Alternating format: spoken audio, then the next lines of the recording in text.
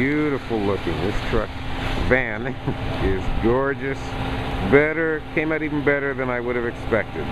So let's just take a quick look around. This is it, out in the light. Looking better. I showed you the inside already. You could actually live in this thing, and I'm sure some people have. So there she is.